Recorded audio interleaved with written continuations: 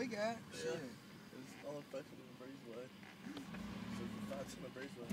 What the fuck's going on, dude?